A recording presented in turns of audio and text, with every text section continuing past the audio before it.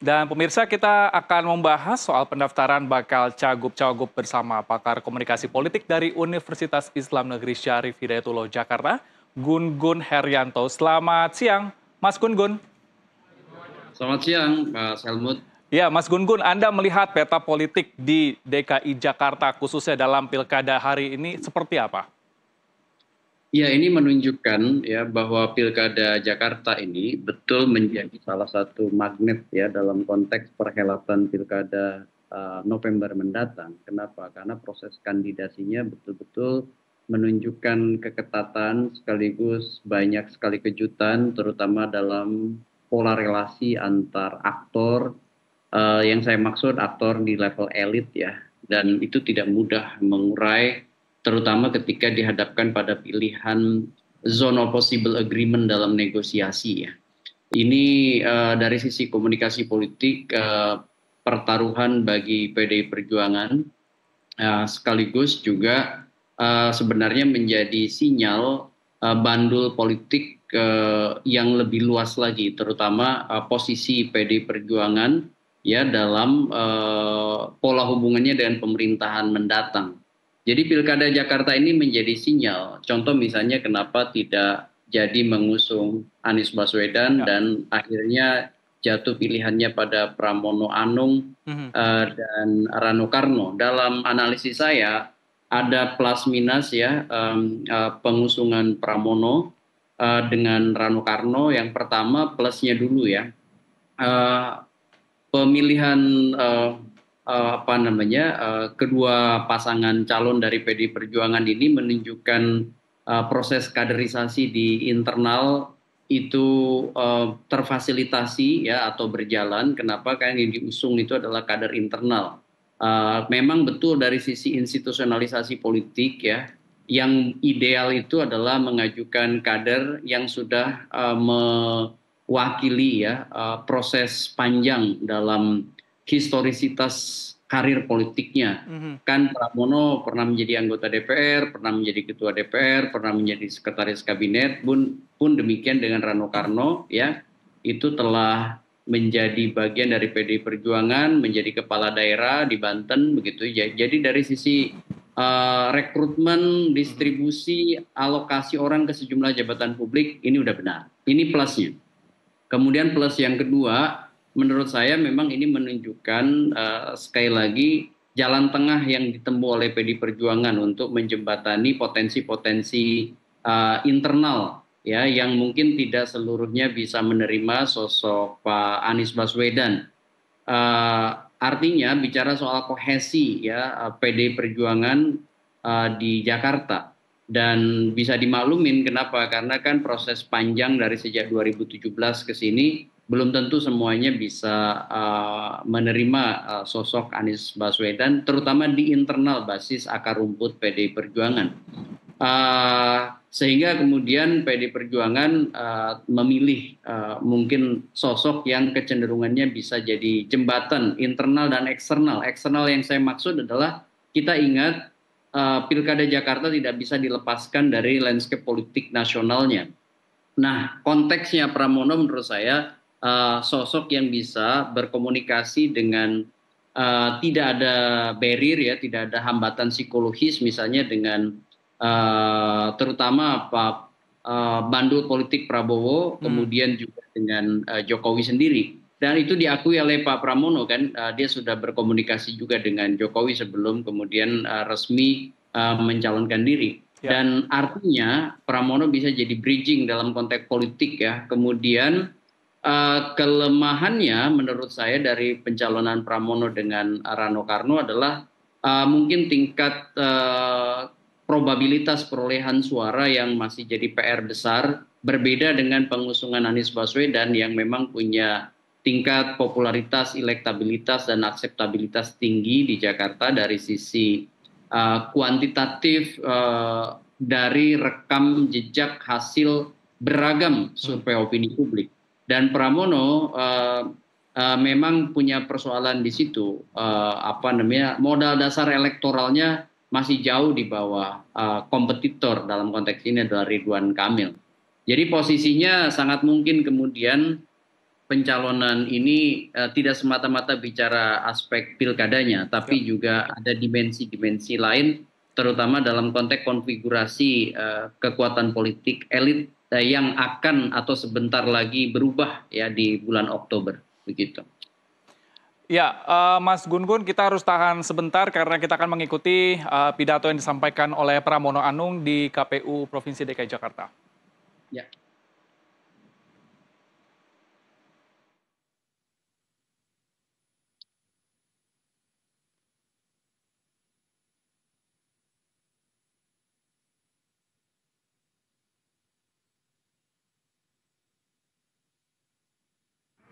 Ketika menyampaikan permohonan izin yang pertama, beliau dengan spontan menyampaikan, Mas, tidak banyak orang yang mendapatkan kesempatan seperti ini harus maju.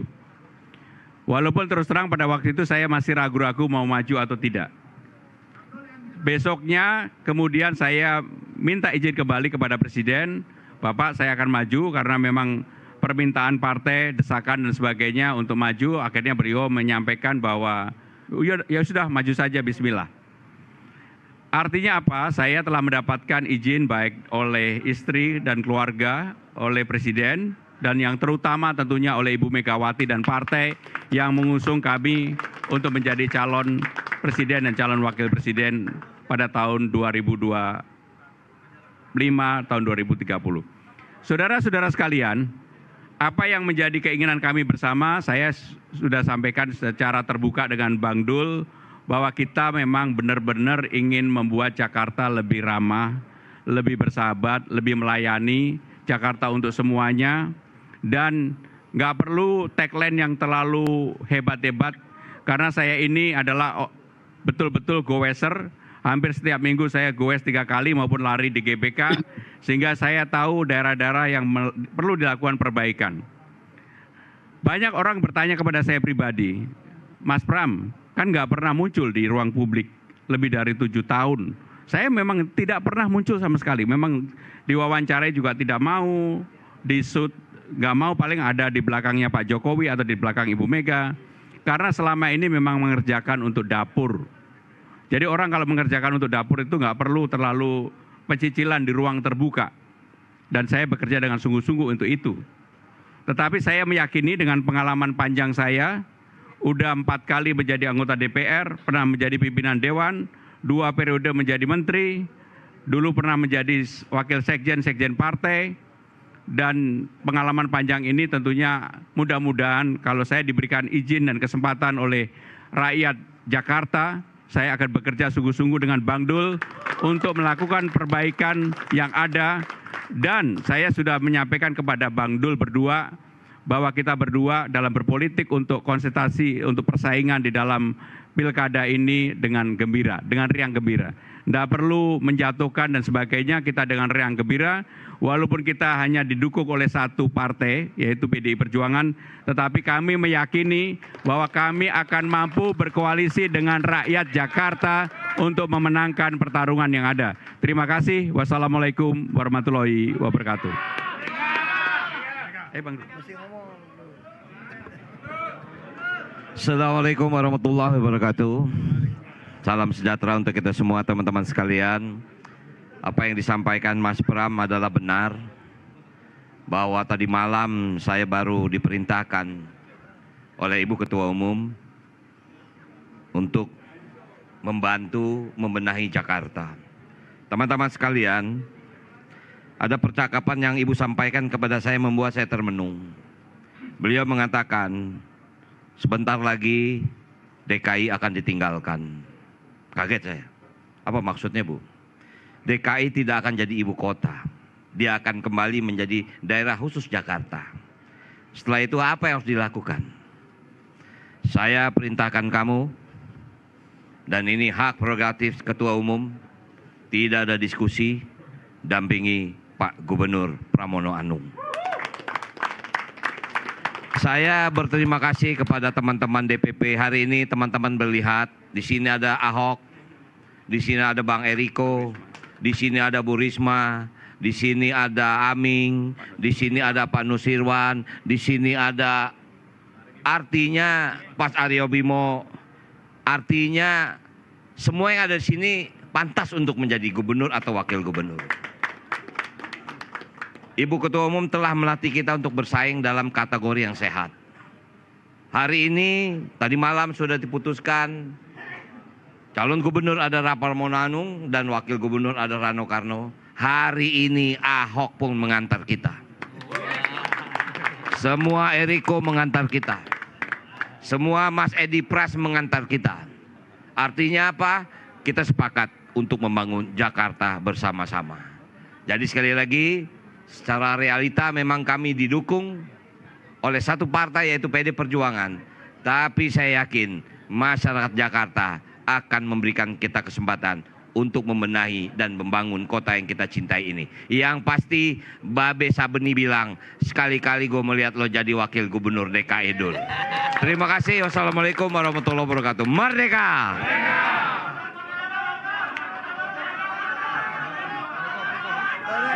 aku angkat tangannya. Apa? Megang minta ini. Ayo, ayo. Itu.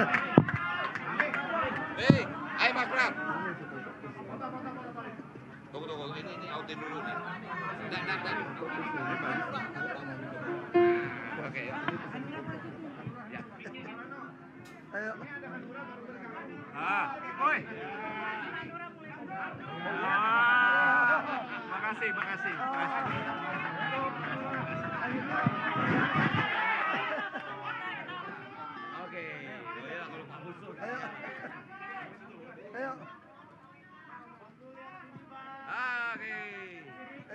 Mas izin majuan dikit, Mas. Maju, Majuan maju, dikit, maju. Mas.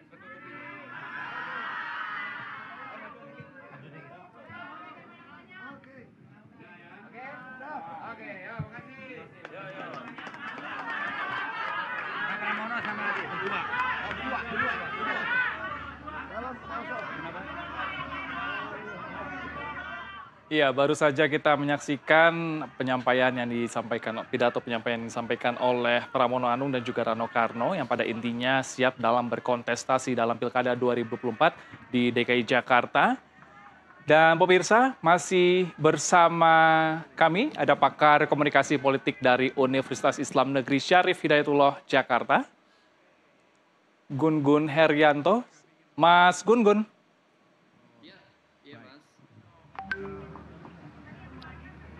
Gimana? Ya, Mas Gun Gun, tadi kita sudah eh, simak bersama pernyataan disampaikan oleh Pramono Anung yang tidak pernah menyangka dipilih sebagai eh, calon bakal calon ya, bakal calon gubernur DKI Jakarta. Anda melihatnya dari eh, keraguan, apakah ada keraguan yang dialami oleh eh, Pramono Anung dalam eh, Pilkada 2024 ini?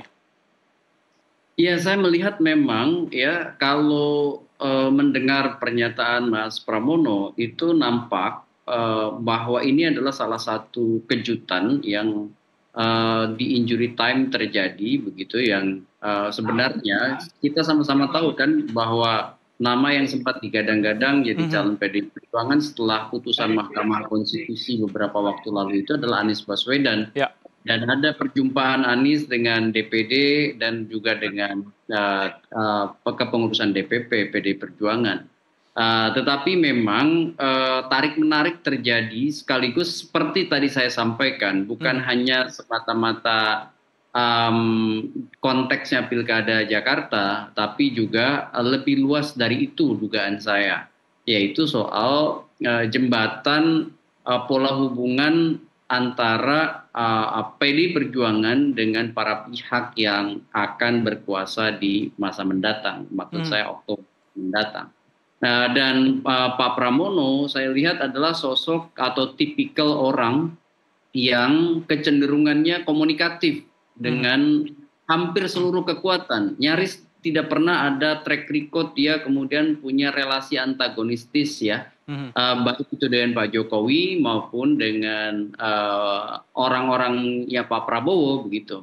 Ya. Uh, dan betul uh, seperti Mas uh, Pramono sampaikan, bisa jadi mungkin awalnya dia tidak pernah uh, uh, apa namanya punya satu perencanaan strategis ya untuk maju dalam konteks gelanggang pilkada Jakarta. Uh, tetapi lebih karena memang uh, kebutuhan PDI Perjuangan ya uh, PDI Perjuangan saya lihat ya butuh uh, satu uh, pola yang jauh lebih memungkinkan bermanuver uh, yang kemudian kita bisa katakan manuvernya itu tidak terlalu beresiko gitu ya bagi Hmm. PDI Perjuangan uh, tidak sekali lagi tidak hanya di pilkada tapi juga pasca uh, pembentukan pemerintahan Mhm. dan sosok Pramono eh, Pak Pramono maksud saya itu orang yang berpengalaman dalam eh, melakukan komunikasi politik lintas kekuatan. Mhm. Ya, memang problem mendasarnya adalah pilkada itu kan apakah kemudian PDI Perjuangan betul-betul mau all out memenangi kontestasi atau hanya sekedar ini menjadi semacam cara PDI Perjuangan menaikkan daya tawar begitu ya. Mhm. Nah, ini ini tentu uh, butuh uh, satu telaah yang uh, bukan hanya bicara soal komunikasi politik, tapi bicara soal data faktual kontestasi elektoral. Kalau kita bicara komunikasi politik, ya tentu Pramono pilihan yang tidak buruk. Bahkan mungkin bisa jadi ini adalah pilihan baik yang dipakai oleh PD Perjuangan di fase-fase krusial ya. Ya. Kenapa? Karena posisi PD Perjuangan kan kemarin mengalami posisi serba sulit gitu ya. Mhm. Uh, setelah ditinggalkan oleh ragam kekuatan, termasuk Pak Jokowi sendiri gitu ya, kemudian masuk di fase uh, turbulence, uh, terutama uh, dengan di reshuffle-nya misalnya beberapa menteri, uh, kemudian pola hubungan antagonistis yang uh, cukup menguat dengan Pak Jokowi, ini kan tentu menjadi sekian banyak persoalan PD Perjuangan termasuk uh, sulitnya dia kemudian melakukan pengusungan akibat misalnya threshold yang tinggi sebelum putusan Mahkamah Konstitusi kan harus 20% kursi DPRD atau 25% suara. Mhm. Nah, uh, tetapi dengan putusan MK ini kan uh, berubah uh, apa namanya petanya, termasuk memungkinkannya PD Perjuangan mengusung bukan hanya mendukung. Dan konteks itulah yang kemudian kita bisa lihat dua warna PD Perjuangan. Pertama adalah warna uh, komunikasi politik yang diperluas ruang jelajah kom- uh, komunikasinya. Dan, dan itu kemudian memasukkan nama yang bukan hanya internal tapi juga eksternal termasuk yang punya tingkat elektabilitas tinggi Mhm. dalam konteks ini nama Anies Baswedan kemudian masuk radar selain nama Pak Ahok dan Ya. tidak ada nama Pak Pramono kan Mhm. gitu. Nah ini uh, sebut aja dimensinya dimensi komunikasi politik Mhm.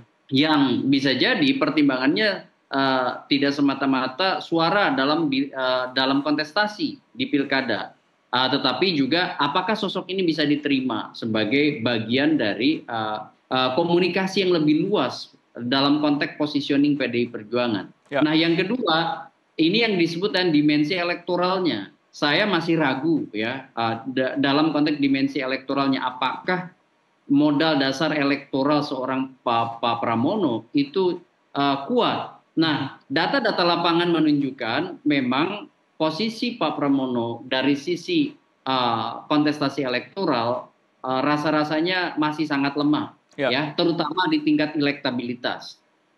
Dan itu masih menjadi PR untuk uh, Mungkin warga Jakarta tahu, Ya. ya, rasa-rasanya juga belum banyak yang begitu tahu ya soal Ya, Pak Pramono. Mas Gun-Gun tadi Anda mengatakan bahwa eh, ini merupakan salah satu kelemahan yaitu probabilitas suara ini masih menjadi PR. Lantas apa cara yang dilakukan untuk meningkatkan dari elektabilitas eh, dari Pramono ini? Ada tiga cara. Pertama adalah menguatkan basis struktur partai Hmm. untuk bekerja mengoptimalisasi mesin pemenangan. Kemudian yang kedua harus bisa penetrasi ke basis pemilih baru di luar basis pemilih PD Perjuangan. Kenapa? Karena kalau uh, pemilih PD Perjuangan sendiri kan sudah terlihat kemarin ya di uh, pemilu legislatif. Itu nggak cukup untuk memenangi. Makanya kemudian apakah sosok Rano Karno bisa memperluas Ya. gitu ya penetrasi ke basis pemilih non PDI Perjuangan karena Pak Rano Karno kan termasuk tokoh populer Mhm. ya dan identik gitu dengan Betawi gitu ya. Kenapa? Karena dia banyak eh, apa eh, membintangi film ya, Ya. terutama si Gulana Sekolahan gitu ya dan eh, juga eh, film-film lain yang tentu masih ada di top of mind ya sebagian warga Jakarta, termasuk juga pengalaman dia sebagai kepala daerah di tetangga Jakarta gitu Banten Ya, di dan Banten ya. sebagian Hmm. di antaranya pasti kan juga publisitas politiknya terjadi itu yang kedua kemudian yang ketiga uh, mampukah mereka juga uh, apa menggait atau membangun jejaring dengan opinion leader di Jakarta yang punya basis akar rumput nyata Mhm. atau real. Contoh misalnya tokoh agama, tokoh adat, tokoh budaya di luar ya tokoh-tokoh yang sekarang ini dimiliki oleh PD Perjuangan sendiri. Kenapa? Karena Jakarta ini mau nggak mau selain ya eh, masyarakat dalam arti warga biasa itu yang turut menentukan dinamikanya adalah eh, jejaring eh, tokoh terutama tokoh agama, tokoh budaya, tokoh adat ya yang kemudian langsung dekat dengan basis pemilih. Eh, dan kita sama-sama tahu itu terjadi juga di 2017 ya dan di 2012 bagaimana simpul-simpul tokoh eh, keagamaan, tokoh eh, kebudayaan seperti budaya budaya Betawi ya tentu dan tokoh eh, apa namanya yang kemudian banyak memengaruhi persepsi publik Mhm. itu turut menentukan dinamika yang berkembang di Jakarta.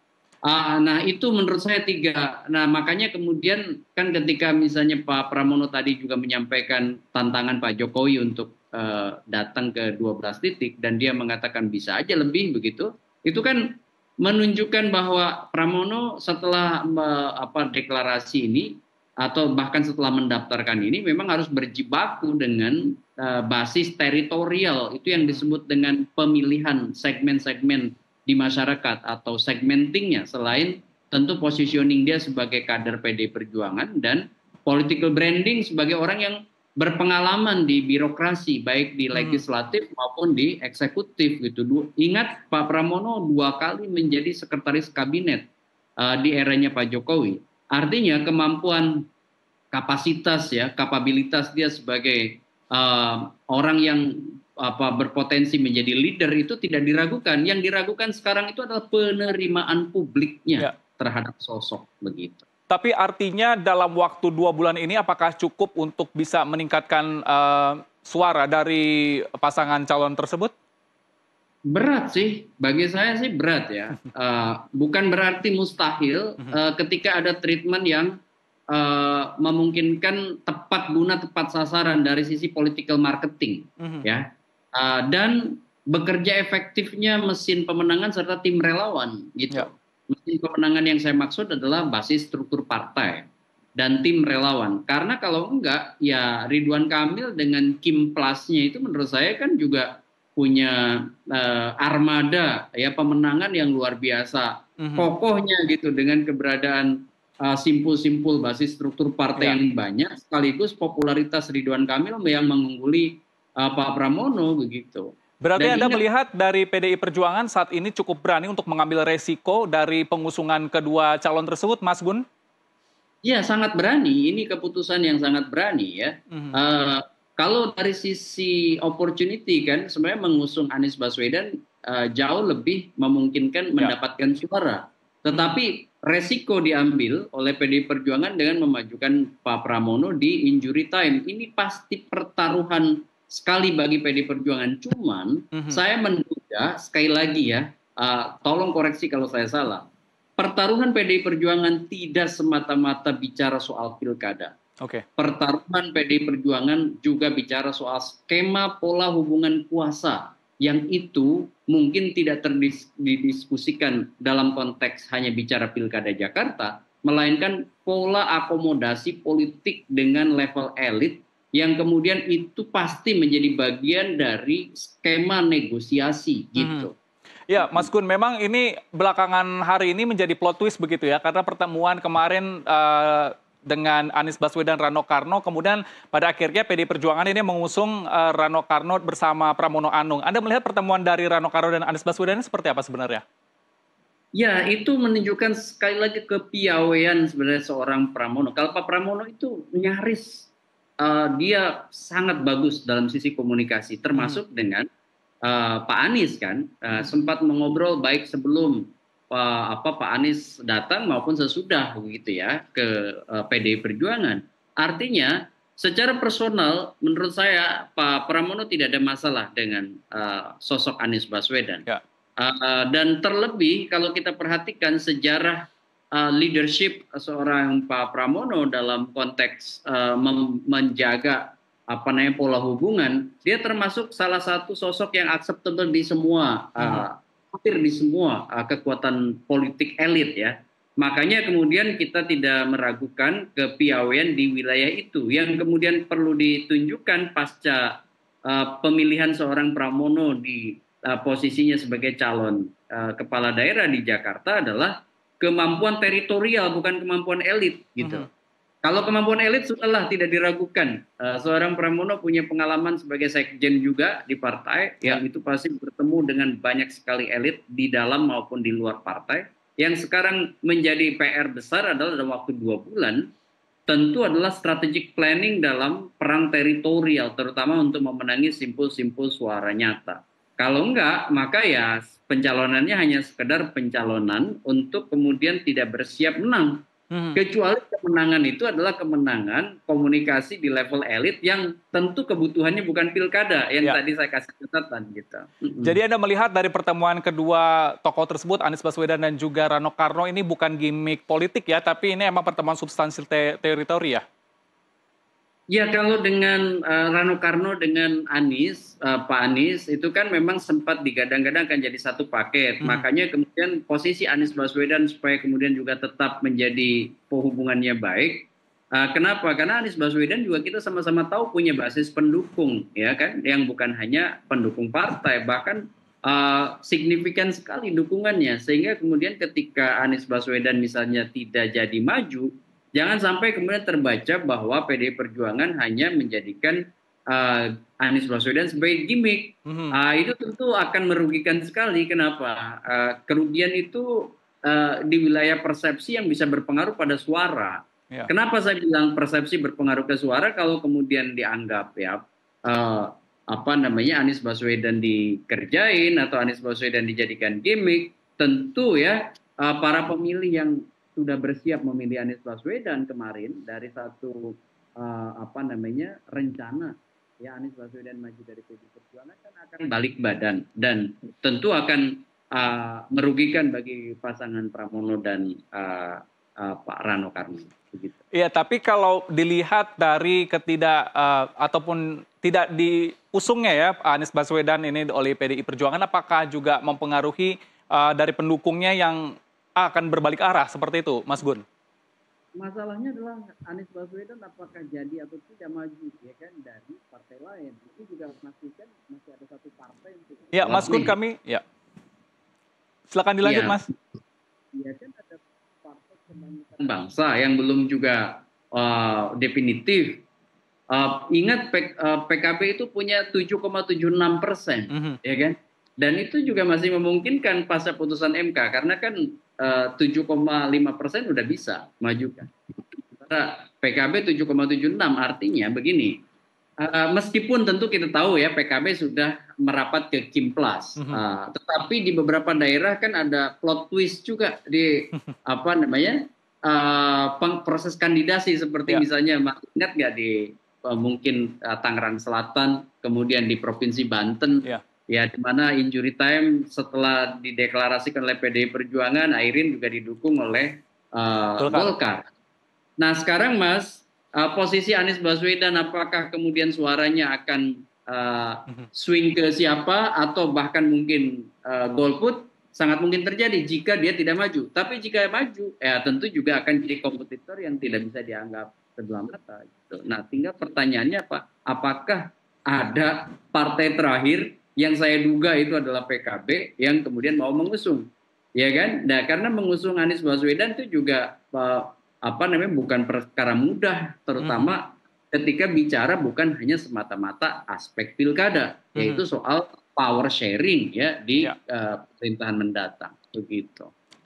Mas Gun berbicara tentang kans dari kedua eh, bakal cagup-cawagup ya, ada RK Suswono, kemudian juga ada Pramono Rano. Ini Anda melihatnya bagaimana nih?